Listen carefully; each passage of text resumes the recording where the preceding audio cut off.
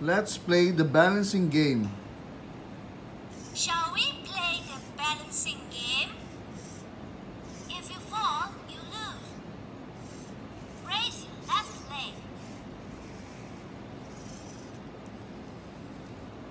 Close your eyes.